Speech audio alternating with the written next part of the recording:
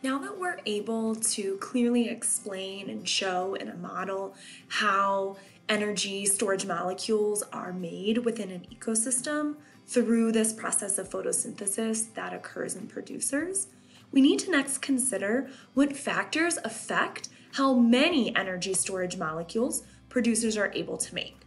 And we need to consider this because we know that our biodome experiment failed because our plants and our animals simply did not have enough energy storage molecules to perform the functions that they need to survive.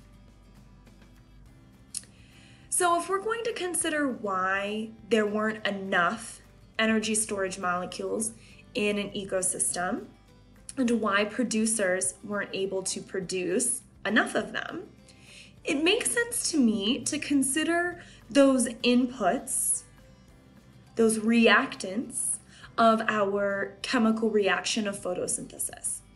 And this makes sense to me to consider these reactants, these inputs into our photosynthesis process because I know from a previous unit in chemical reactions that I don't make new stuff I don't get rid of stuff during a chemical reaction. I simply rearrange the stuff that's there.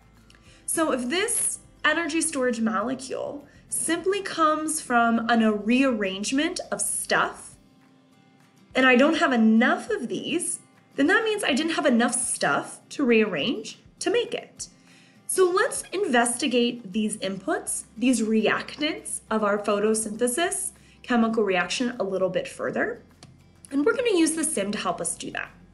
So our mission in the sim, in order to address this investigation question of what factors affect how many energy storage molecules producers are able to make, is to find at least two ways to decrease the amount of these molecules by experimenting around within the sim. And I'm gonna give you one constraint as you do that, my constraint is gonna be without killing anything. So you can't use those kill buttons.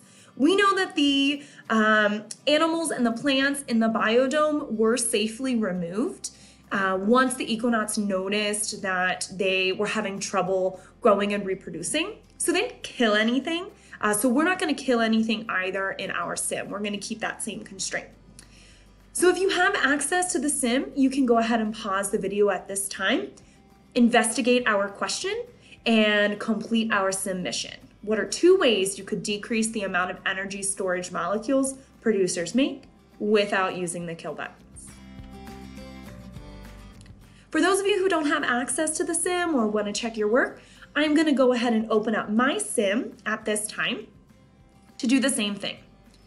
Remember, if you are using Amplify Online, there's that stack menu where I can just quickly navigate to the sim and open it up.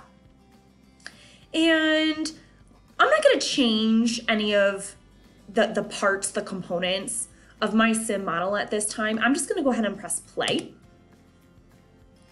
And I'm gonna wait a little bit here. Um, let's make our sim be a little bit faster because I'm kind of impatient. Um, I'm just gonna wait a little bit here to let the sim kind of run its course because remember the biodome experiment didn't immediately fail. It took uh, a couple of years before the econauts noticed that there didn't seem to be enough energy storage molecules.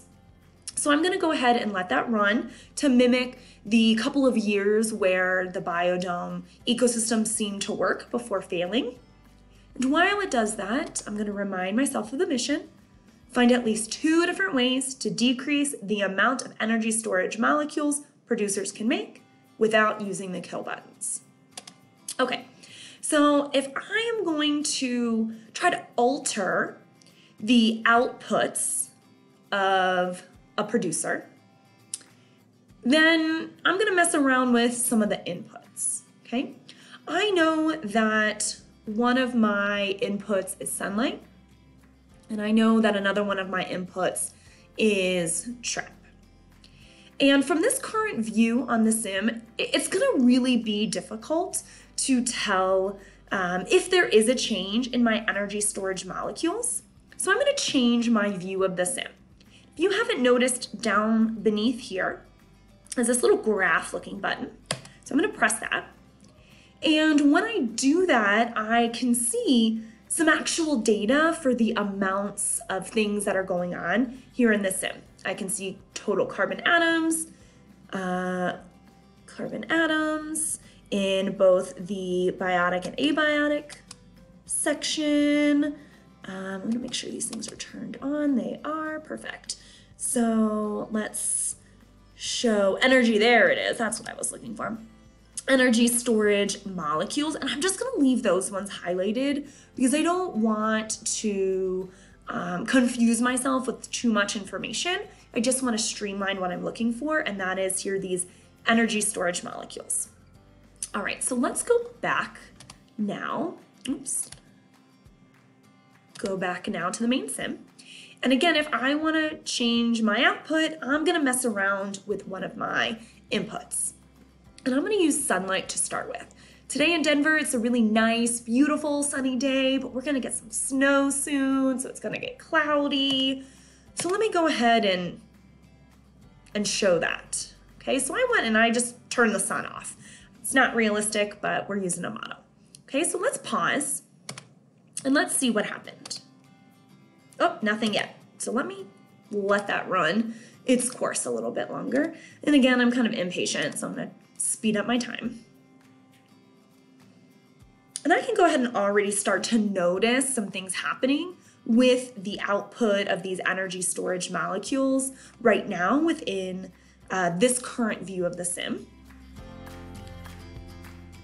Let's go ahead and pause. And then here's my graph, okay? What do you notice happened? What does that mean about our mission? Let's restart. I'm gonna hit reset. Yep, so I think I found one way to decrease the amount of energy storage molecules, and that was by just kind of reducing or turning off altogether the amount of sunlight. But my mission said to find two ways. And again, I can't kill anything.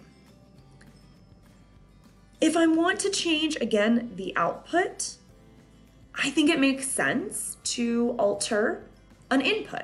So I already altered sunlight. My other input that I'm able to change here is the carbon dioxide, okay? And I have this button here called trap that I played with before. I'm gonna press that. And when I press that button, my carbon dioxide, it doesn't disappear because remember, we can't just make matter disappear. It's just moving somewhere else. So I'm just gonna keep on pressing the trap button because I just, again, am impatient and really want to see what happens here. So I'm just gonna get a lot up there. Okay, that's probably good. Let's pause. Okay, check out the graph. Oh, let me turn on my energy storage molecules. That'd be helpful. Okay. So remember up here, I don't know if I pointed it out last time, but I can see the key that's indicating user changes. User is me. Um, and this little uh, triangle over here is trap. So those are all of the times that I was pressing that trap button. So first time, pressed it once, and then I started to kind of rapidly press it. Take a moment, observe, what do you notice? And I'm gonna go ahead and give this a little bit more time because I think I saw the pattern, but the pattern didn't last a whole lot of time on my graph. So I'm gonna just continue this a little bit to make sure that pattern that I think I saw the first time holds true here after a longer period of time. Okay, so let's pause again and let's see what happened. So there's my first part. And there's again my, whoops, my continued rapid fire of pressing the trap button. What did you notice happening? Awesome, I noticed it too. My energy storage molecules were decreasing. So when I check my mission, it seems like I figured out two ways to decrease the amount of energy storage molecules without using the kill button. I was able to one, change the amount of sunlight by reducing it. And number two, I was able to reduce the amount of carbon dioxide. Nice work.